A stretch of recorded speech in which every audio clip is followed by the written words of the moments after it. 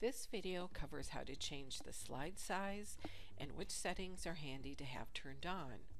When you open PowerPoint, choose the blank presentation option. Then change the default layout to blank. Click the Design tab, Slide Size, Custom Slide Size. Change the width to 48, change the height to 36, and click the OK button. You can drag the thumbnail view to the left to minimize it and give you more screen space. Click the View tab. In, if the Notes section is turned on, click the Notes button to turn it off. Check the ruler option. This will help with alignment of your content and marking your columns. Also in the View tab, you can turn on the grid as you need it.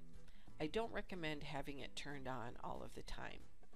Next, in the View tab, check the Guides option. These will help you with your general layout. To create a new guide, place your mouse over the guide, hold your Control key, and drag. Once you have a new guide, you can drag it to the location you want. I recommend setting guides for the following aspects of your poster margins, title area, and the space between your columns. As a rule of thumb, make 1 inch margins and 2 inch column spaces.